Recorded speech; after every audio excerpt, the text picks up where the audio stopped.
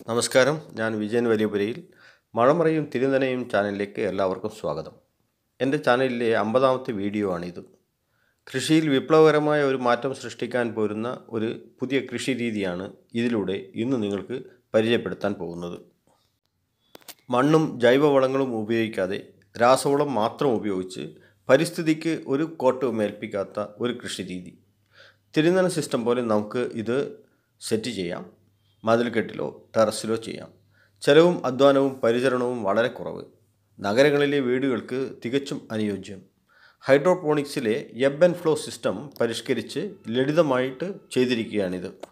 ജൈവ കൃഷിയെപ്പറ്റി മാത്രം video post ചെയ്തിരുന്ന ഈ ചാനലിൽ ഇങ്ങനെയൊരു വീഡിയോ പോസ്റ്റ് ചെയ്യുന്നതിന്റെ ഔചിത്യത്തെപ്പറ്റി ചിലർക്കൊക്കെ സംശയമുണ്ടാകും. മണ്ണിനും പരിസ്ഥിതിക്കും രാസവളങ്ങൾ ഉപയോഗിച്ചുണ്ടാകുന്ന വിവിധ ദോഷങ്ങൾ നമ്മൾ വളരെ വിശദമായി പാർട്ട് നാൽപ്പത്താറ് വീഡിയോയിൽ കണ്ടതാണ്. മൂന്ന് ദോഷങ്ങളാണ് പ്രധാനമായി രാസവള പ്രയോഗത്തിനുള്ളത് എന്ന് നമുക്കറിയാം.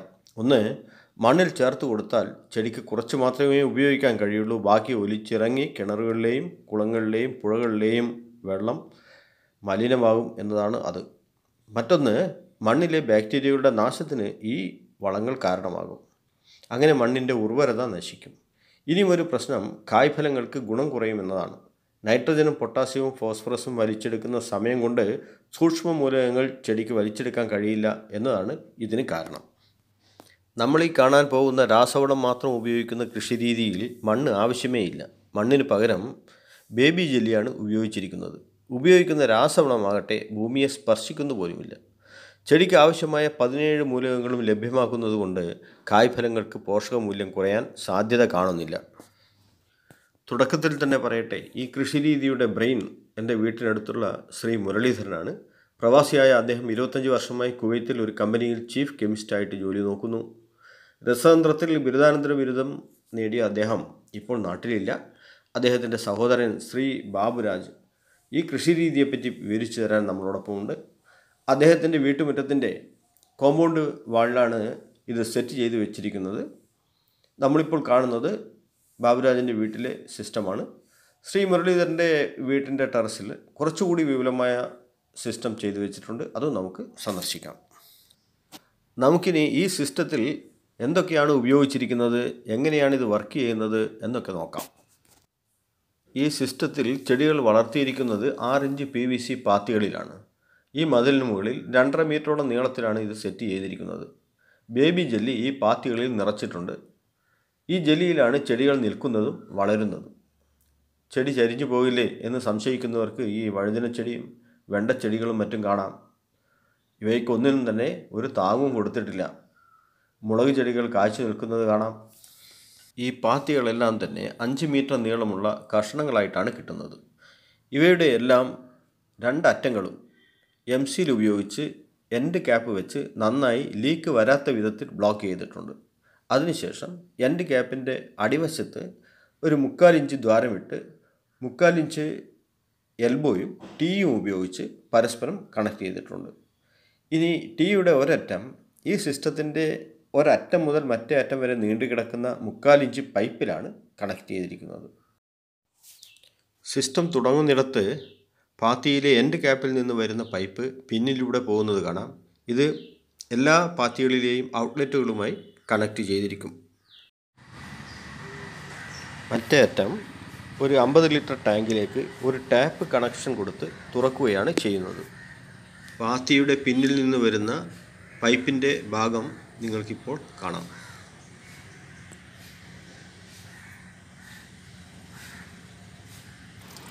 ഈ ടാങ്ക് പാത്തികൾ വെച്ചിരിക്കുന്നതിനേക്കാൾ താഴ്ത്തി വേണം സ്ഥാപിക്കാൻ.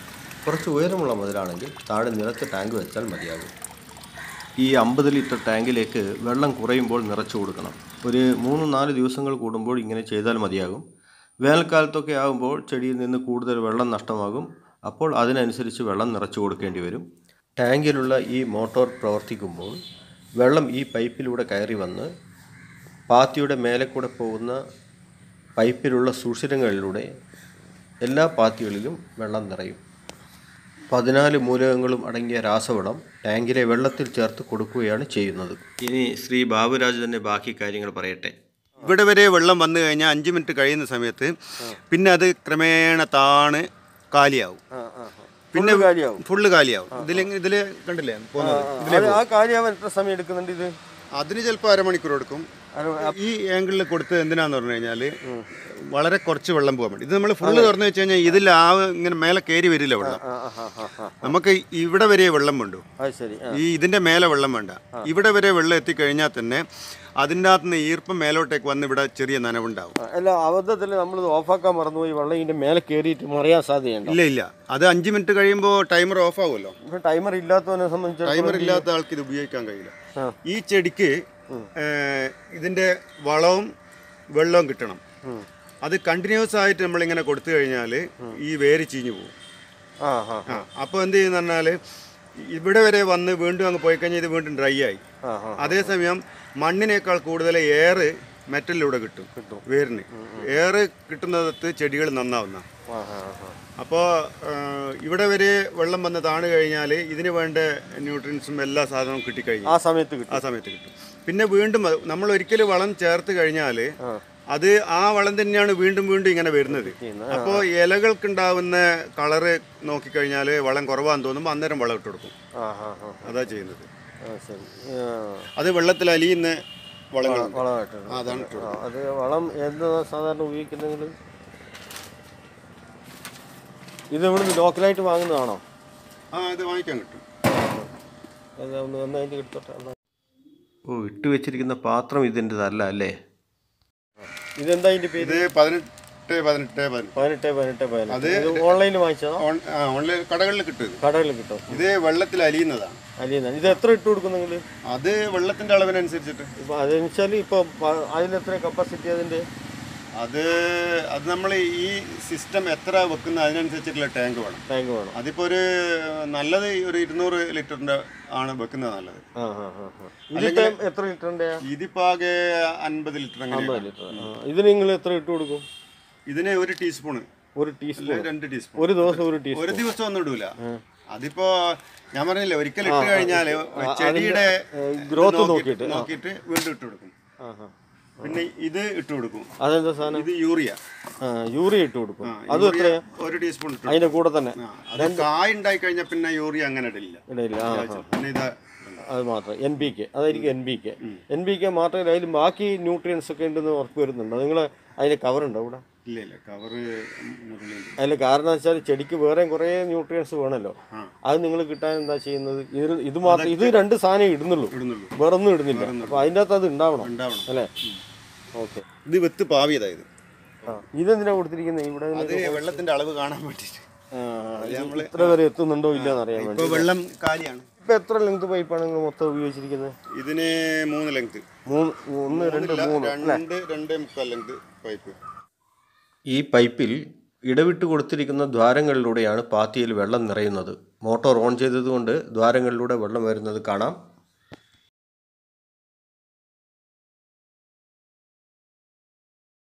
ഇപ്പൊ ഇതിന്റെ ഇടയിൽ തന്നെ നമുക്ക് എയർ ഗ്യാപ്പ് ഉണ്ടെങ്കിൽ അവിടെ ഒരു ചെടി നടാം. എന്താ കാരണം എന്ന് പറഞ്ഞു കഴിഞ്ഞാൽ ഇതിന്റെ വേര് മറ്റേ വേരിന്റെ മേലെ കൂടെ ഇങ്ങനെ പോയിക്കൊണ്ടിരിക്കും. വളം അതിൽ കിട്ടിക്കൊണ്ടിരിക്കും. നമ്മൾ രണ്ട് ചെടി മണ്ണിൽ നടുമ്പോൾ രണ്ട് ചെടി അടുത്തടുത്തായാൽ ഉണ്ടാകുന്ന പ്രശ്നം ഇതിനില്ല. നമുക്ക് വളരാനുള്ള സാഹചര്യം ഉണ്ടെങ്കിൽ സൂര്യപ്രകാശം കിട്ടണം. കിട്ടണം. അത്രയേ ഉള്ളൂ. അല്ലാണ്ട് അടുത്തടുത്ത് നടുന്നതിനൊന്നും യാതൊരു പ്രശ്നമില്ല. ഇത് കണ്ടില്ലേ?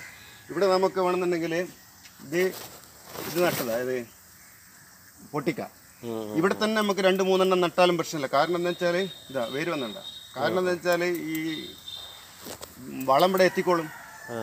അപ്പൊ ചെടിക്ക് ഒരു പ്രശ്നം വരില്ല. ഇങ്ങനെ വെച്ചിരുന്നത്? ഇത് സൂര്യപ്രകാശം കൊണ്ട് ഇതിന് ചൂട് തട്ടണ്ടെന്ന് വിചാരിച്ചു അത് നല്ല വേനൽക്കാലത്ത്. അപ്പോൾ ഈ സിസ്റ്റം നിങ്ങൾ ഇവിടെ സ്ഥാപിച്ചിട്ട് ഇപ്പം എത്രയായി? രണ്ട് മാസമായി. രണ്ട് മാസമായി അല്ലേ? രണ്ട് രണ്ട് മാസം. ആ ഇതിന് ശേഷം ഇതിന്റെ അകത്ത് നന്നായിട്ട് വിളവെടുപ്പൊക്കെ കിട്ടിയോ? ഓ നന്നായി വിളവെടുപ്പ് ഏത് എന്തെല്ലാം ചെടികളാണ് നിങ്ങൾ ഇതിൽ വളർത്തുന്നത്? തക്കാളി മുളക് പിന്നെ വെണ്ട വഴുതിന് എല്ലാ കൃഷിയും ഇതിൽ ചെയ്യാം. ചെയ്യാം. അതാണ് എന്റെ ഇത്. കയപ്പ പൊട്ടിക്ക പോലുള്ള സാധനങ്ങൾ ഇതിൽ നട്ടിട്ട് പുറത്തേക്ക് പന്തലിലേക്ക് കൊടുക്കാം. പന്തലിലേക്ക് കൊടുക്കാം. അതാണ് പൊട്ടിക്ക ഇതിനകത്തുണ്ടായത്. നല്ല ആരോഗ്യമുള്ള പൊട്ടിക്ക തന്നെ ഇതിനകത്തുണ്ട്. കിഴങ്ങ് പോലുള്ള സാധനങ്ങൾ ഇതിൽ ഉണ്ടാക്കാൻ പറ്റില്ല. ഉണ്ടാക്കാൻ പറ്റില്ല. അതായത് തക്കാളി വെണ്ട വഴുതിരിങ്ങ സാധാരണ ഒരു അടുക്കളത്തോട്ടത്തിൽ ഉണ്ടാക്കാവുന്ന സാധനങ്ങളൊക്കെ ഇതിൽ നമുക്ക് ഉണ്ടാക്കാൻ പറ്റും. ബേബി മെറ്റൽ നിങ്ങളിപ്പം എത്ര ഉപയോഗിച്ചു ഇതിന്? ബേബി മെറ്റലിന് വേണ്ടിയിട്ട്? ഏതാണ്ട് ഒരു മൂന്ന് ചാക്ക്. മൂന്ന് ചാക്ക്. മൂന്ന് ചെറിയ അരിന്റെ ചാക്ക് അല്ലേ? അതെ അങ്ങനത്തെ മൂന്ന് ചാക്ക് ഉപയോഗിച്ചു അല്ലേ? ഇത്രയും സാധനം. ഇത് രണ്ടേ മുക്കാൽ ലെങ്ത് പാത്തിയാണ് രണ്ടേ മുക്കാൽ ലെങ്ത് പാത്തിയാണ് ഉപയോഗിച്ചിരിക്കുന്നത് അല്ലേ? അത്. പാത്തി എന്ന് പറഞ്ഞാൽ ഇപ്പൊ കിട്ടാവുന്നതിൽ ഏറ്റവും വലിയ സൈസാന്ന് തോന്നുന്നു അല്ലേ? അല്ല ഇത് ഇതിന്റെ വലുതുണ്ട്. ഇത് ആറാണ്. ഇതിന്റെ എട്ടിഞ്ചിന്റെ ഉണ്ട്. എട്ട് ഇഞ്ചിന്റെ അതും അതുപോലെ ഇത് ഇങ്ങനെയുള്ള പാത്തിയാണ് ഈ ഷേപ്പിലുള്ള അതേസമയം സ്ക്വയർ ടൈപ്പുള്ള പാത്തിയുണ്ട് പാത്തിയുണ്ട് ആ. ആ പാത്തി കുറച്ചുകൂടി നല്ലത് കുറച്ചുകൂടി നല്ലതാണ് അല്ലേ? ഉപയോഗിച്ചിരിക്കുന്ന ഈ പൈപ്പോ ഈ വെള്ളം കൊണ്ടുപോകുന്ന സപ്ലൈ ചെയ്യുന്ന പൈപ്പ് ഉണ്ടല്ലോ? ഇത് മുക്കാലിഞ്ച് പൈപ്പ് മുക്കാലിഞ്ച് പൈപ്പാണ് അല്ലേ? അത് അതുപോലെ തന്നെ ഇങ്ങോട്ട് വന്ന്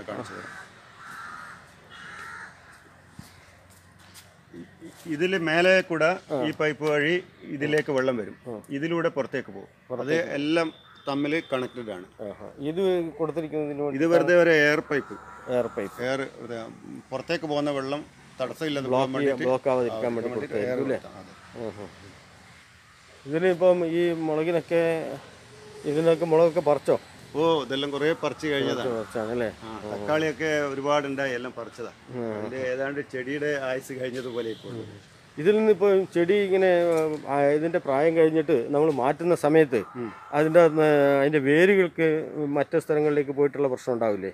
അങ്ങനെയില്ല. ഇതിൽ അതെന്തുകൊണ്ടാന്ന് പറഞ്ഞു കഴിഞ്ഞാൽ ഇതിൽ ഏഹ്, എത്ര ചെടികൾ അടുത്ത് നട്ടാലും ചെടികൾക്ക് ക്ഷീണം ഉണ്ടാവില്ല. കാരണം അവിടെ അതിന്റെ ഏഹ്, വളവും വെള്ളവും എത്തുന്നത് കൊണ്ട് ചെടികൾ അടുത്ത് നട്ടാൽ പോലും ഇതിന് യാതൊരു ക്ഷീണം ഉണ്ടാവില്ല. അതായത് ഒരു പ്രത്യേകത. സൂര്യപ്രകാശം സൂര്യപ്രകാശം കിട്ടണമെന്ന് മാത്രം. ഈ ഷീറ്റ് എന്തിനാണ് നിങ്ങൾ വെച്ചിരിക്കുന്നത് മേലെ? ഇത് മഴ പെയ്തിട്ട് ഇതിലേക്ക് വെള്ളം വന്നാൽ ടാങ്കിൽ വെള്ളം ഓവർഫ്ലോ ആവും. അത് ഒഴിവാക്കാൻ വേണ്ടി മാത്രമല്ല വെള്ളം കേടുവരാൻ സാധ്യതയുണ്ട് അല്ലേ? നമ്മുടെ പുറത്തു നിന്നുള്ള പൊടിയും കാര്യങ്ങളൊക്കെ വീണിട്ട്. അപ്പോൾ ഇതിനൊരു ഇതൊരു പരീക്ഷണ ഘട്ടത്തിലാണ് ഉള്ളത് അല്ലേ? നിങ്ങൾ ഇതൊന്നും ചെയ്തിട്ടില്ല. ഇനിയിപ്പോൾ അതിനൊന്നും ചെയ്യണം. ഇതൊരു വെറുതെ ഒന്ന് ചെയ്ത് നോക്കിയതാണ് ഈ കൃഷി. പക്ഷേ നല്ല സക്സസ് ആണെന്നാണ് മനസ്സിലായത്. ഇതിനെല്ലാം ഈ വഴുതിനെല്ലാം മണ്ണിൽ നട്ടതിനേക്കാളും നല്ല ആരോഗ്യത്തിലാണ് വളരുന്നുണ്ട് അല്ലേ? ഇത് മറ ഉണ്ടാക്കുമ്പോൾ നമ്മളൊരു ഒരു മീറ്റർ കൊടുത്താൽ മതിയാവുമോ ഒരു മീറ്റർ ഒന്നര മീറ്റർ ഉയരത്തിൽ ആണ് നല്ലത്. ഒന്നര മീറ്റർ ചെടിക്ക് ഫ്രീ ആയി ഏകദേശം നമ്മൾ കൊണ്ട് മുളക് വേണ്ടില്ല അവിടെ. ഇതിൽ വളരുന്ന നിൽക്കാൻ പറ്റുന്ന തരത്തിൽ ഒരു ഉയരത്തിൽ നമ്മൾ കൊടുക്കണം. ഇതൊക്കെ ചെറുതായി പോയി. ഇവിടെ എല്ലാം പുറത്ത് കൊടുത്തത് ഇത് ചെറുതായതുകൊണ്ടാണ്. ഒരു ഒന്നര മീറ്റർ ഉയരത്തിലായാലും നല്ലതാണ്. അപ്പോൾ ഇതിൽ ഇതിൽ തന്നെ നമുക്ക് ആവശ്യമുള്ള വിത്ത് പാകാനും ഇതിൽ തന്നെ ഇട്ടാൽ തന്നെ പാകി മുളപ്പിക്കാം. പാകി മുളപ്പിക്കാൻ പറ്റും. മുളപ്പിച്ചിട്ട് മാറ്റി നടാം. മാറ്റി നടാം. മാറ്റി നടാം. ഇത്രയും ഒരു രണ്ടേ മുക്കാൽ ലെങ്ത്തുള്ള ഈ സിസ്റ്റം ഉണ്ടാക്കാൻ വേണ്ടി ഏകദേശം നിങ്ങൾക്ക് എന്ന് പറയുന്നത് ഏകദേശം എത്രയാകും? നാലായിരം റുപ്യ നാലായിരം റുപ്യാവും മോട്ടോർ ഉപയോഗിക്കുന്നതിന്റെ ചെറിയ മോട്ടോർ നാൽപ്പത് വാട്ടിന്റെ ചെറിയ മോട്ടോർ. ഒരു രണ്ട് മീറ്റർ തള്ളാൻ കപ്പാസിറ്റിയുള്ള മോട്ടറാണ്. മോട്ടോറാണ് ഉപയോഗിക്കുന്നത്. ചെറിയ കറണ്ട് ഇതിന് വേണ്ടു നാൽപ്പത് വാട്ട് എന്ന് പറയുമ്പോൾ അത് ഒരു ദിവസം ആകെ മൊത്തം നോക്കി അരമണിക്കൂറേ വർക്ക് ചെയ്യും. ഒരു ടൈമിന് ഇത് അഞ്ച് മിനിറ്റാണ് ഞാനിവിടെ വർക്ക് ചെയ്യാൻ ഉപയോഗിക്കുന്നത്. ഇതിനേക്കാൾ കൂടുതൽ ബെഡ് ഉണ്ടെങ്കിൽ നമ്മൾ കൂടുതൽ സമയം. കൊടുക്കേണ്ടി വരും. കൊടുക്കേണ്ടി വരും. ഇതിനിപ്പോൾ അഞ്ച് മിനിറ്റേ വേണ്ടു അതാണ് അപ്പോൾ വളം ഉപയോഗിക്കുന്നത് പതിനാറ് പതിനാറ് പതിനാറ് എൻ പി കെ. NPK. പിന്നെ യൂറിയ. ആ യൂറിയ. ആദ്യം കൊടുക്കുമ്പോൾ ഒരു രണ്ട് ടീസ്പൂണാണ് ഇട്ടത് പിന്നീട് ഇലയുടെ നിറം നോക്കി കഴിഞ്ഞാൽ എന്തെങ്കിലും കുറവ് വരുമ്പോൾ വീണ്ടും ഒരു രണ്ട് ടീസ്പൂൺ ഇട്ട് കൊടുക്കും. അത് ചിലപ്പോൾ മാസത്തിൽ രണ്ടോ മൂന്നോ തവണ ഇടുന്നുണ്ട് ഇത്രയും വേണ്ടി.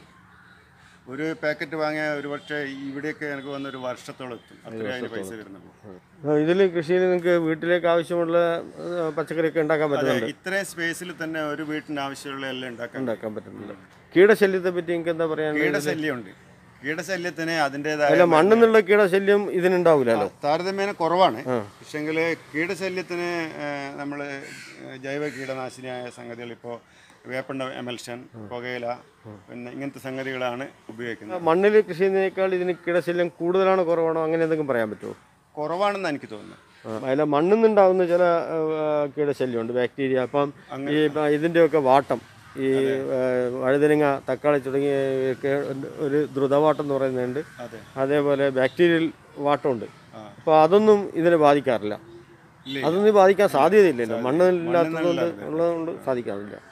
പ്രത്യേകത എന്താണെന്ന് വെച്ചാൽ ഈ വലിപ്പമുള്ള ചെടി വേണമെന്നുണ്ടെങ്കിൽ നമുക്ക് ഇതിൽ കുഴിച്ചിടാൻ പറ്റും.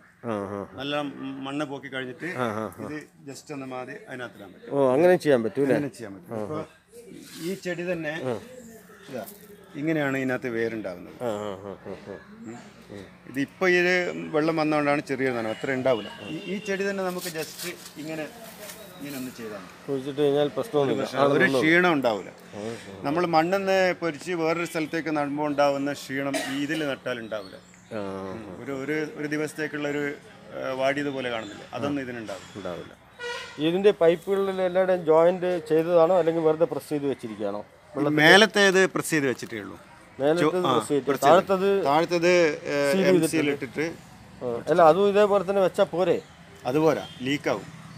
അതെന്തുകൊണ്ടാണ് ലീക്കാവുന്നത് എം സിയിൽ ഇട്ടാൽ തന്നെ പെർഫെക്റ്റ് അല്ലെങ്കിൽ ഇവിടെയൊക്കെ ചെറുതായിട്ട് ലീക്ക് ഉണ്ട്. അല്ല അത് എം സിയിൽ ഇട്ട് നമ്മൾ ഇവിടെയല്ലേ ചെയ്യുന്നത്?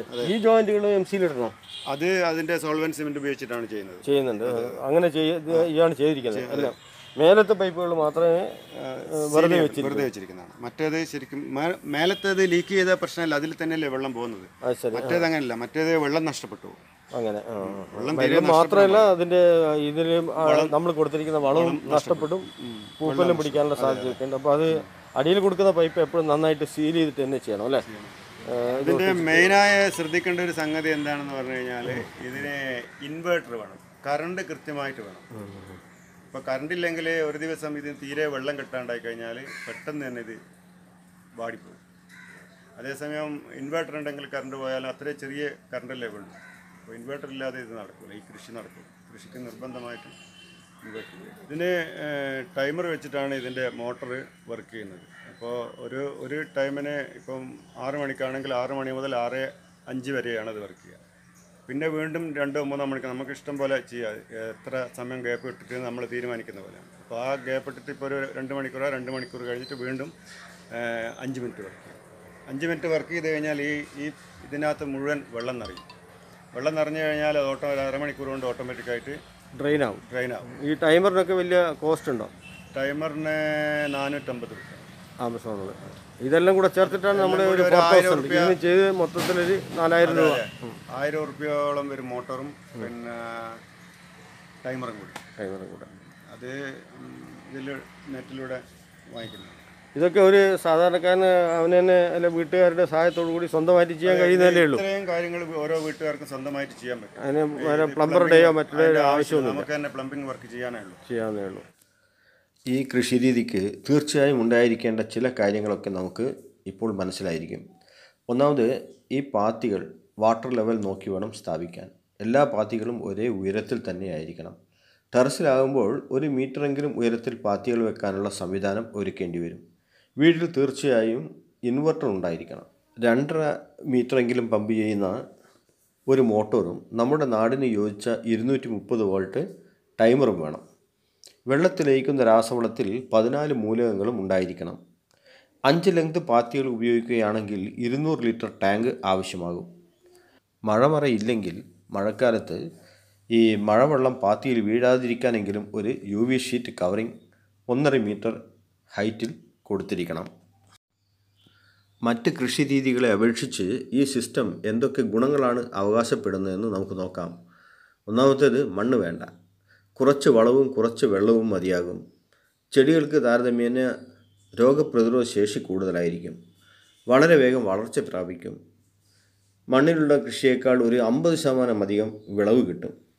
അടുത്തതായി നമുക്ക് ശ്രീ മുരളീധരന്റെ വീട്ടിലെ ടെറസിൽ ചെയ്തിരിക്കുന്ന സിസ്റ്റം കാണാം. ഇത് പുതുതായി ചെയ്തതാണ്. അദ്ദേഹം സ്ഥലത്തില്ലാത്തതുകൊണ്ട് ചെടികളൊന്നും കാര്യമായി വളർത്തിയിട്ടില്ല. ഈ സിസ്റ്റത്തിൽ ചെടികൾ കൂടുതൽ കാലം നിൽക്കും. അതേപോലെ ചെടികൾ വളരെ അടുത്തടുത്ത് നടാം. വലിയ ചെടികൾ പോലും മാറ്റി നടാൻ കഴിയും. ഈ മുളക് ചെടികൾ അങ്ങനെ മാറ്റി നട്ടതാണ്.